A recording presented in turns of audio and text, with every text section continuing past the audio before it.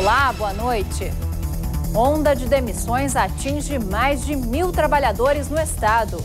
400 deles no canteiro de obras da nova Ponte do Guaíba, que teve o projeto paralisado. Depois de retroceder ao patamar do início da década, nível de emprego estabiliza na indústria da Serra Gaúcha. Conheça a realidade de quem busca uma vaga com carteira assinada em meio à crise.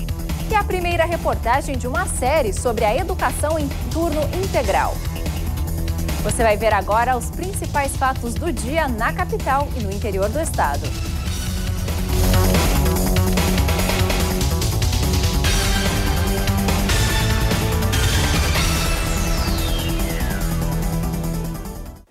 Mais de 300 funcionários do frigorífico Minuano de Passo Fundo vão perder os empregos. As operações de abate de frango serão interrompidas porque a empresa JBS não renovou o contrato com a unidade gaúcha.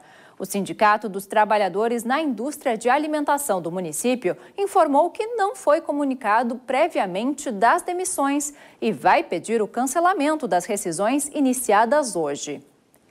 Esse é apenas mais um capítulo da onda de demissões que atingiu vários setores da economia nos últimos dias. Também nesta segunda-feira, a construtora responsável pela nova ponte do Guaíba paralisou as obras devido à falta de recursos e anunciou a demissão de 400 trabalhadores. O investimento do governo federal na nova ponte é de 650 milhões de reais. Mas, desde novembro do ano passado, quando 200 funcionários foram dispensados, a construção da estrutura começou a ser afetada pela falta de repasses. A obra conta com 580 trabalhadores, 80% deles de fora do estado. Entre 200 e 250 ligados diretamente à construtora Queiroz Galvão vão ser demitidos, o que vai acarretar em mais de 150 dispensas de funcionários de empresas terceirizadas. Há mais de seis meses a obra vem demitindo cada vez mais, né? Demite 50, admite mais 10, 15 e assim eles vêm trazendo a obra até agora, né? Chegou ao ponto que a, empresa já havia nos comunicado há, há 30 dias atrás desta possibilidade né, de, de paralisação da obras em virtude dos atrasos de pagamentos da União e também o que é mais grave que não existe previsão orçamentária, segundo a Queiroz Galvão, em algum momento já confirmado pelo próprio DENIT. Ruim para os operários que enfrentam a crise no mercado da construção civil, a área de atuação da maioria deles. Nos dias 9 e 10 de maio, eles devem receber o último pagamento. Apesar de não haver previsão de retomada das obras, Júlio mantém a esperança. Tá, quando volta aí é porque é a crise que está acontecendo no Brasil aí. Quanto a expectativa de retorno? Estão falando lá para o mês de outubro, novembro. A ponte tinha entrega prevista para outubro de 2017. O projeto prevê uma estrutura de mais de 7 quilômetros, três sobre a água. No entorno da construção, o movimento diminuiu, mas ainda há circulação de caminhões e operários. De acordo com o sindicato, devem permanecer no canteiro os funcionários que farão a sinalização. Cerca de 35% da obra que começou em outubro de 2014 já foi concluída. A nova ponte é importante para desafogar o trânsito na região metropolitana da capital, especialmente as BRs 290 e 116. A assessoria da Queiroz Galvão disse que a empresa não vai se manifestar. Já o Departamento Nacional de Infraestrutura e Transporte afirmou por nota que não emitiu nenhum ato administrativo que levasse à paralisação do contrato. Além disso, o DENIT disse que não há atraso de pagamento e que não foi notificado sobre qualquer interrupção contratual. E a onda de desemprego que afeta os trabalhadores gaúchos também atingiu uma das principais indústrias do estado. 300 funcionários da General Motors de Gravataí, que já estavam com os contratos interrompidos temporariamente, serão demitidos. Dos 800 funcionários da GM de Gravataí que entraram em layoff em dezembro do ano passado, 300 foram demitidos nesta sexta-feira. O número corresponde a 10% de toda a força de trabalho da montadora, que deixa de ter o terceiro turno de trabalho. Durante o layoff, que é uma espécie de acordo entre os trabalhadores e o empregador, o funcionário tem o seu contrato de trabalho suspenso enquanto é subsidiado pelo governo e passa por uma espécie de reciclagem profissional. O último layoff aqui na GM terminou no dia 30. A montadora divulgou nota onde acredita as demissões a uma queda de 26% nas vendas da indústria automotiva. Um levantamento do DIEESE, apresentado na entrevista coletiva do Sindicato dos Metalúrgicos, contesta os números. Os dois automóveis que são produzidos aqui, é, tão, é, o ano passado, no primeiro trimestre, eles venderam 27 mil, isso foi emplacados, 27 mil, e esse ano 32 mil. Ou seja, não tem queda, ao contrário, tem, uma, tem um crescimento na venda desse tipo de automóvel. Nós vamos instaurar um dissídio jurídico no tribunal e vamos fazer o que a gente mais sabe fazer.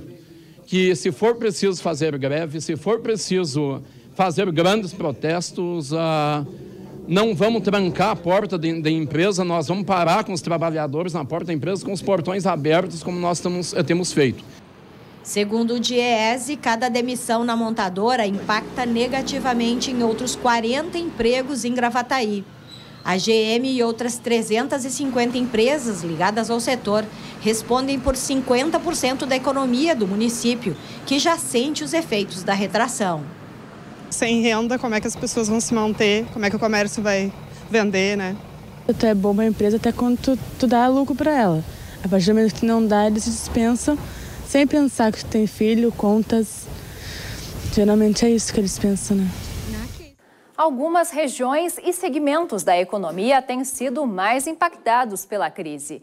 É o caso da Serra Gaúcha, segundo maior polo metal mecânico do país. Em Caxias do Sul, os dados de 2016 apontam para a estabilização das demissões na indústria, mas o número de vagas chegou ao patamar de seis anos atrás. Os detalhes na reportagem da UX TV, nossa parceira na região. A tradicional fila em frente ao Cine de Caxias do Sul reflete muito bem o cenário econômico da cidade. Muitos estão aqui em busca de uma recolocação no mercado. De acordo com a agência, 14.465 vagas de emprego foram extintas nos últimos 12 meses. Apesar disso, o número de solicitações do seguro-desemprego diminuiu no primeiro trimestre de 2016 em comparação com o ano passado. Então, a gente vê, dentro de, desses números, né, a gente vê que as empresas já, já enxugaram tudo que dava para enxugar no ano de 2014 e 2015. Então, o ano de 2016 teve essa redução, sabe? Mas isso, mesmo assim, não é nada positivo, né? A gente gostaria de estar encaminhando menos seguro-desemprego e fazendo mais intermediação de mão de obra, colocando mais gente no mercado de trabalho. Um dos segmentos mais atingidos no município foi o setor metal mecânico. É, iniciamos o ano com em torno de 500 demissões, pensando que não tinha parado, mas janeiro, uh, fevereiro já foi positivo, seis postos de trabalho, seis contratações positivas, né? Então isso é muito bom, ou seja, estabilizou. O que eu estranho realmente é a inércia das empresas. A gente não vê movimento nas empresas para reagirem. E a reação deve partir não só das indústrias, mas também de quem perdeu o emprego. Depois da demissão no ramo farmacêutico, Andréia investiu no próprio negócio na área da alimentação saudável. Mas adianta que não é tarefa simples. É preciso um planejamento, porque as dificuldades já começam quando a gente precisa levantar capital para abrir esse negócio. Né? Hoje em dia é difícil tu conseguir capital com um juro juros razoáveis, né? Então as dificuldades já começam aí. Se não existir um planejamento, é bem difícil de fazer esse negócio vingar. movimento de visitantes tem sido intenso no Parque de Exposições da 21ª edição da Feira Nacional da Soja, que segue até o próximo domingo, dia 8, em Santa Rosa, no noroeste do estado. Um dos destaques deste ano são os Caminhos da Soja, atração permanente que conta um pouco da história da região, conhecida como o berço nacional do grão dourado. Mais de duas mil peças estão expostas no espaço, aberto para visitação das 10 horas da manhã às 10 da noite. A nebulosidade aumenta e o frio intenso dá uma trégua nesta terça-feira na região leste do estado. Porto Alegre deve registrar mínima de 10 e máxima de 20 graus. Em Novo Hamburgo, os termômetros também sobem um pouco e chegam aos 20 graus. Temperaturas ainda mais amenas em Tramandaí, oscilando entre 13 e 21 graus. Ainda nesta edição, veja a rotina de um trabalhador na busca de um emprego formal em meio à onda de demissões. E depois do intervalo, a primeira de uma série especial de reportagens sobre a educação em turno integral.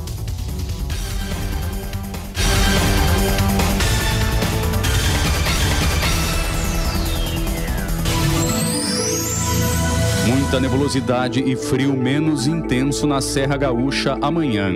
Em Caxias do Sul, os termômetros variam entre 8 e 18 graus. O sol aparece entre nuvens em Passo Fundo e a temperatura sobe um pouco mais, chegando aos 20 graus. Para Ijuí estão previstas mínima de 10 e máxima de 21 graus. Liberado o corredor de ônibus da Avenida Protásio Alves entre as ruas Vicente da Fontoura e Lucas de Oliveira. As linhas T7 e 429 Protásio e Guatemi não precisam mais fazer o retorno por ruas internas do bairro. Uma sinaleira foi instalada para auxiliar o acesso dos ônibus que saem do corredor da Protásio para a Lucas de Oliveira. Segundo a EPTC, a liberação do local que estava em obras deve reduzir o tempo de viagem dos ônibus e melhorar a circulação de veículos. Nós começamos hoje a exibir uma série de reportagens sobre a educação em turno integral. O país tem condições de oferecer uma educação nesses moldes? E as escolas que oferecem atividades em turno inverso ao da aula estão conseguindo atender às exigências dos pais, alunos e do Ministério da Educação? Hoje, a reportagem da UPF TV, nossa parceira na região norte, mostra como são desenvolvidas as atividades em turno integral em uma escola de Passo Fundo. No colégio em Passo Fundo, a prática da espiritualidade é uma constante entre os alunos. Nesta sala, o tema do trabalho de hoje é a campanha da fraternidade. Este ano, Casa Comum, Nossa Responsabilidade. Aqui são alunos do segundo ao quinto ano que juntos participam das atividades propostas pela professora Carla. Eles, a muitas mãos, pintam o desenho do globo terrestre. O amassar o papel é para mostrar que, neste caso, o planeta, depois de danificado, fica bem difícil arrumar. E ainda, não fica mais a mesma coisa.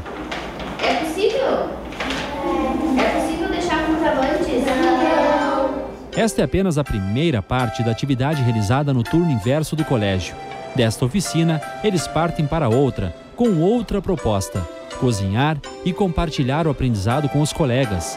Para começar a brincadeira, touca no cabelo e olhos atentos para as dicas. Claro, a responsável pelo lanche usa uma touca especial. Meus pais eles trabalham muito de manhã e de tarde eu gosto mais porque eu posso almoçar aqui, minha mãe não precisa fazer almoço para mim.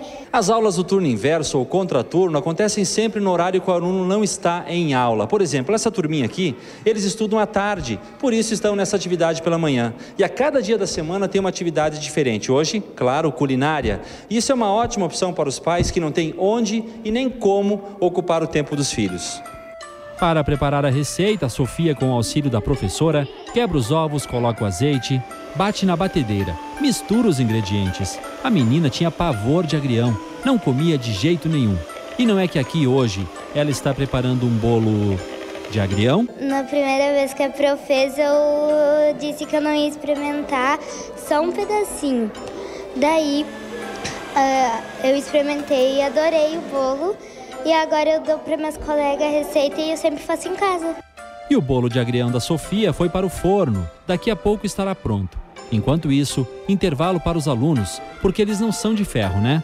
E é todo diferente, de uma forma lúdica, divertida, é, oficinas diversificadas, com a participação efetiva dos alunos em cada oficina. Isso é muito importante para o desenvolvimento deles né, nas atividades. De volta para a sala de aula, aqui nesta oficina literária, os alunos são estimulados a virarem contadores de histórias e podem usar dos recursos que quiserem. O turno inverso no colégio não faz parte da grade curricular. É uma opção aos pais, como atividade extra para os filhos. Há muitos pais que não têm com quem deixar as, os filhos nesta faixa etária. Quando são menores, até tem a possibilidade das escolinhas de educação infantil ou creche. Mas a partir, sobretudo, do segundo, terceiro, quarto e quinto ano, muitas famílias não têm. Bolo pronto no fim da manhã, um lanchinho rápido para fechar os trabalhos. E aqui, quem cozinha é quem faz as honras. Dia de céu nublado com temperaturas mais amenas do que as registradas no fim de semana em Santa Cruz do Sul. A máxima chega a 20 graus. Em Santa Maria, o sol aparece entre nuvens e os termômetros sobem até os 21 graus. Já em Cachoeira do Sul, muita nebulosidade. A mínima registrada deve ser de 10 e a máxima de 20 graus. Moradores das ilhas do Delta do Jacuí promoveram um mutirão neste final de semana para a recuperação da escola estadual Oscar Schmidt, na Ilha das Flores. O local ainda apresenta estragos causados pelas enchentes do ano passado. Agora a escola está se recuperando com a ajuda da comunidade. Não tem aula, mas tem trabalho. Professores, pais e alunos arregaçaram as mangas para fazer melhorias no final de semana na Escola Estadual Oscar Schmidt, na Ilha das Flores. Tudo para colocar em operação novos equipamentos e retomar o que as chuvas do ano passado destruíram. Nós passamos por duas enchentes que uh, foi até 1,70m nos prédios de madeira. Este ano a gente recebeu uma verba emergencial e fizemos algumas reformas. Eu chego a me emocionar, porque boa parte que a gente conseguiu foi doação também.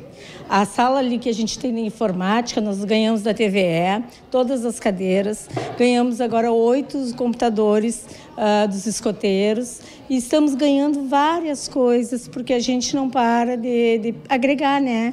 Assim, empresários, tudo para nos ajudar a reerguer essa escola. Foi dia de dar cores ao espaço de estudo, de construir novos bancos e ajeitar a pracinha, de colocar livros no cantinho da leitura e também do professor trocar o giz pela vassoura e o pano. A nossa comunidade não tem muita coisa tem pouca pracinha, eles uh, têm dificuldade de ir para o centro, então a escola é o centro social, a escola é onde eles têm os amigos, onde tem os professores, onde tem o lazer, o estudo, a aprendizagem, então eles merecem o melhor. Os magistrados da Justiça do Trabalho promoveram um ato público em valorização à justiça e em repúdio aos cortes na lei orçamentária que afetaram o judiciário. Segundo a associação da categoria, uma das consequências é que os tribunais deixaram de receber mais de 800 milhões de reais do orçamento anual e tiveram que diminuir horários de atendimento. A manifestação promovida pela Amatra ocorreu no Foro Trabalhista de Porto Alegre. O frio persiste por mais um dia em Bagé, mas fica um pouco menos intenso. A mínima prevista é de 10 graus e a máxima de 16. Dia nublado em Pelotas e temperaturas variando entre 13 e 17 graus. Muitas nuvens também sobre o litoral sul. A máxima chega aos 19 em Rio Grande.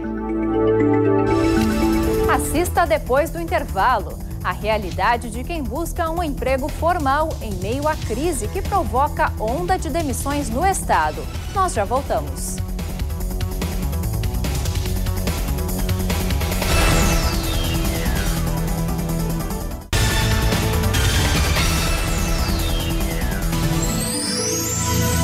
O sol aparece entre algumas nuvens e aquece a terça-feira em Uruguaiana, mínima de 10 e máxima de 21 graus. Em São Borja, o dia também deve ser claro e a máxima chega aos 22. Temperaturas mais amenas em Alegrete, oscilando entre 11 e 21 graus. Vídeo mostra as belezas dos caminhos rurais de Porto Alegre. Com duração de 7 minutos, o filme faz um passeio por paisagens e atrações da região, o material será apresentado em eventos, agências de turismo e hotéis. O lançamento ocorreu nesta segunda-feira na Secretaria Municipal de Turismo, com uma amostra dos produtos orgânicos das propriedades participantes. A zona rural abrange 11 bairros da capital, ocupando 30% do território da cidade.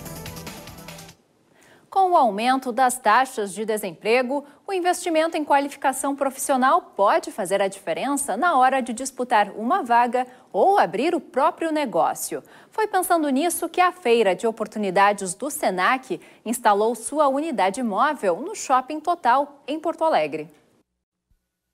Aos 16 anos, filha única e com a mãe doente, Itaciara precisou aprender a empreender. Quando eu tinha 16 anos, eu, eu recebi minha mesada, que era 300 reais. Comprei carne, comprei espetinho, comprei frango e fiz uma assadeira na frente de casa. E aí, em seis meses, eu consegui juntar 6 mil reais e consegui pagar a operação da minha mãe. A experiência foi positiva, mas agora ela quer mais. Por isso, procurou a oficina de empreendedorismo do SENAC. Aqui são dadas noções sobre como abrir um negócio. O empreendedor ele tem várias características, eu quero destacar duas. A primeira é a capacidade de planejamento, porque quando a pessoa ela almeja colocar alguma ideia em prática, ela precisa primeiro planejar. Né? Então é fundamental que a pessoa planeje cada passo a ser dado e depois comece a testar essa ideia, comece a experimentar isso e aprender com o mercado. A oficina faz parte da Feira de Oportunidades do SENAC, que acontece durante toda essa semana.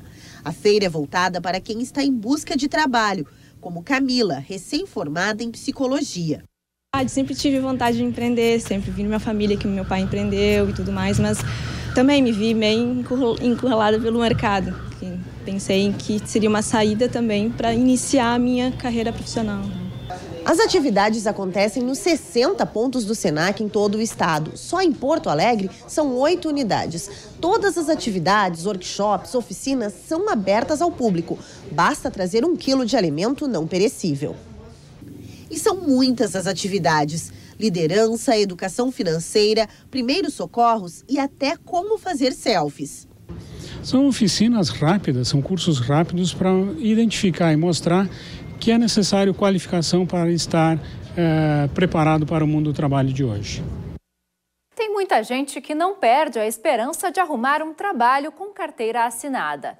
Mas enquanto o tão sonhado emprego formal não chega, a família e os bicos ajudam a pagar as contas. Nós acompanhamos a rotina de um trabalhador que aguarda há algum tempo uma nova realidade e não deixa de ser otimista com o futuro. A espera é por um emprego. A expectativa é de retomar a dignidade.